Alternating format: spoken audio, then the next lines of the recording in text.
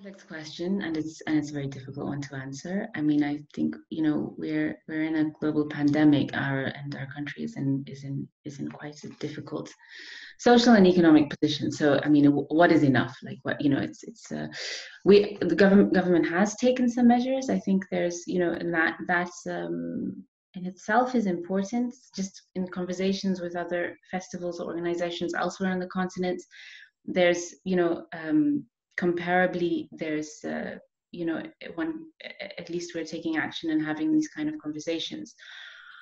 Should should should it play a bigger role? I mean these are these are the kind of conversations that an organization like the national arts festival is in is in is in a, it's in the, uh, right position to have these conversations and to advocate and and where there's kind of general rules which important around around limiting the spread. Um, we can have interface around just the specificities of how that translates into into the impact on livelihood of artists, for example.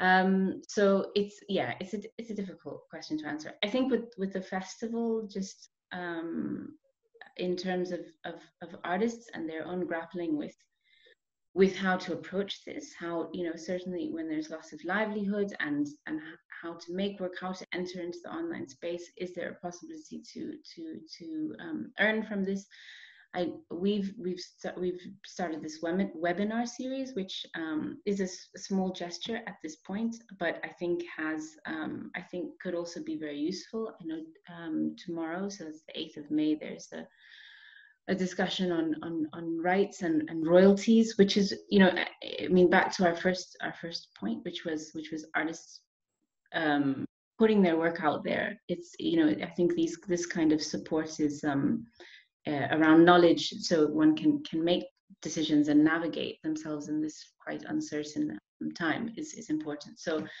uh, that I also think is um, is important in the mix of how to navigate these times. Um, but it's a difficult question to answer and it's it's a it's a moving target as well. And i think we're a bit at the beginning so there's a long path ahead